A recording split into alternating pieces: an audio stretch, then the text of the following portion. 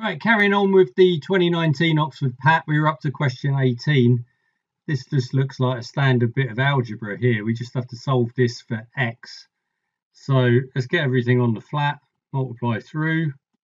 So that'd be 2 divided by e to the x plus 10. Get rid of 9 on each side.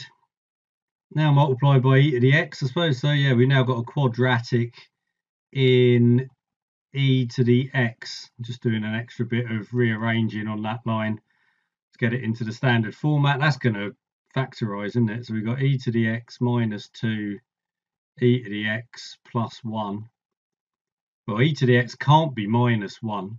It's always got to be positive. So we're going to have e to the x is equal to 2. So x is equal to natural log of 2. Right, we don't mind those as questions. Moving on to question 19. Firework rocket launch vertically. The moment of explosion is moving with a vertical speed v0 2 meters per second upwards. So upwards 2 meters per second. Explosion releases an energy of 1 joule. So we've got 1 joule appears and a rocket bursts into four pieces of masses one, two, three, and four grams. Right, so the first bit then, so that was 10 grams. So we've now got a one, a two, a three, and a four grams. Piece of M4 moves up at one meter per second. M3 and M2 move horizontally and m1 moves vertically. All velocities and directions are given relative to the ground. Okay, obtain the speeds of all the pieces after the explosion. Okay, so our options here are we've got conservation of momentum, which we can do in two directions, and we can do conservation of energy as well. So let's do the vertical conservation of momentum first then. So we've got 2 times 10, I'll just keep everything with grams, has got to be equal to, so this is V1, actually just write them up here with the arrows, V1, V2, V3. So what was I doing? Oh yeah, momentum. So we'll have a V1 plus a 4 times 1. So V1 is equal to 16 meters per second. That's a good start. And then we can go horizontally and say that 0 is going to be equal to 2v2 plus 3v3. Right, that's good, good. Now we can do conservation of energy.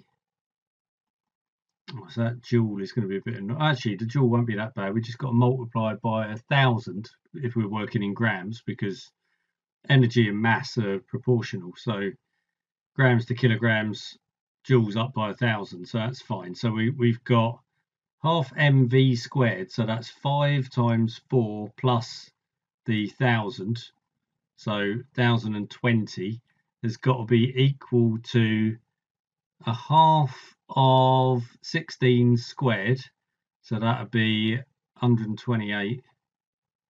Then we've got, well, we can do the, the four ones easy because that's going to be 2 times 1. So that's 2. Then we've got half of v2, so 1, so v2 squared, plus 3 over 2 v3 squared. Right, so off of this one then, we can say that v2 squared is going to be equal to 9 over 4 v3 squared. Right, so what am I doing? So I'm just replacing that in there. So that's going to be 100 and, actually 130 plus 9 over 4 v3 squared plus 3 over 2 v3 squared. Right, let's take this 130 off of both sides then. So that's going to be 110 off of that, so 890. Then we're going to want to multiply everything by 4. I think it's probably going to be best, isn't it? Because that will end up leaving us with 15 v3 squared on that side. So four lots of that is going to be 3560. So 3560 over 15 is the v, v3 squared, if I can say it. That's uh, so what's that coming out as? I'll just put it in the calculator. V3 then comes out at say 15.4 meters per second, which means that V2 comes out at 23.1 meters per second. What is that? Is that everything they wanted? Obtain the speeds of all the pieces after the explosion. Right. Yeah, fair enough. The, yeah, they just said speed, so got nothing about velocity, so that's fine. The so obviously these are in one direction or the other. They've got to be in opposing directions, but that's okay. Well, what do I want next? Higher speed pieces can be obtained if the directions of movement of the pieces are different from those in part A.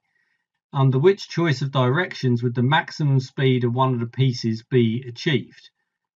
So we want to get, but we have to have, we have to have vertical motion, must have vertical motion after explosion because of conservation of, momentum.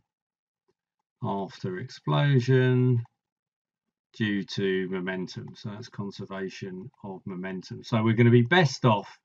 So therefore keep motion in that direction, that way. And it would also make sense so yeah, and have the fastest piece going upwards. Piece going upwards because we want we can have a net upwards uh, momentum, net upward momentum. So that's certainly one thing. So where do we get our biggest bang for our buck then on the if we got low mass then you get then higher velocity for a given momentum. So we want to get the, therefore we want to have the one gram mass traveling fastest, going fastest. And we want to put as much energy as that into that as possible. So we're going to want to have, yeah, we want to get as much motion as that as we can. So we can't have anything else going upwards. We need to balance the, because if anything else is moving upwards, we have to put more momentum going downwards in order to balance it. So we want to have the others going backwards there. Therefore, all other particles go downwards So we only have to balance, so only need to balance the upwards momentum, need to balance upwards momentum at a one gram mass. Balance upward momentum of one gram piece. Because yeah, if we had two bits going upwards, then it means, okay, not only do we have to balance the one gram one, you need the ones going downwards to be going faster in order to balance that. So they're taking energy away. Whereas if you've got three things going sluggishly downwards, then they can all just contribute to counteracting the upwards of the the upwards motion of the one gram mass. So we need to have M1 going upwards and M2, M3, M4 going downwards. Yeah, yeah, that's quite an interesting way of thinking about it, really. Yeah, it's quite a nice question. I don't mind things like that. Oh wow, got again something new. This is definitely the thing that they do in these more recent papers. Something that immediately looks scary as, soon as you see it. I mean, interferometers we're talking about here. So we've got two paths, path A, path B, top or bottom. A wave can take each one of those from the source of the detector. And we've got a difference in path length. Right and it varies by some cos function here. So the intensity is measured, length of the paths differ by amount L, intensity of the detector I is measured and varies as that function. Yes, fair enough. In the above, K is the wave number of the wave, which relates to the wavelength lambda via that. All right, so we've also got this equation, just making it a bit clearer. So that's just writing out that again. I, P and IQ are constants. Right, sketch the intensity as a function of L in the range 0 to 2 lots of lambda. Label both axes, identify, identify IP and IQ in the sketch. Okie dokie. Right, so if we're going from 0 to 2 lambda, so what if we add that in there? That's for L. So we're going from 0 k, so that's cos 0, to cos of 2 lambda k. 2 lambda k is going to be 4 pi. Cos of 4 pi. So we've got two cycles that we're doing on this.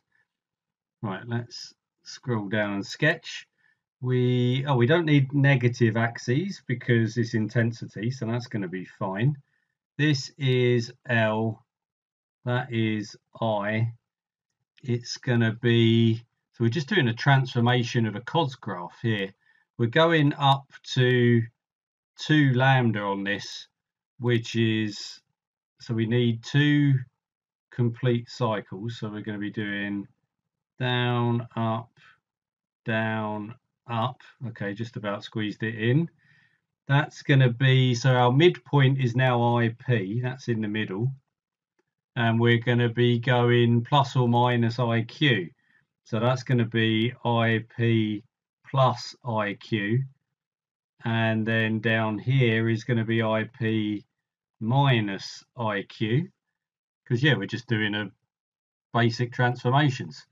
So we've rescaled the x-axis so this is going up to, yeah, up to 2 lambda there. So we've rescaled the x-axis there, we've stretched there, and we've translated upwards there. And yeah, that's everything really. That seems like that.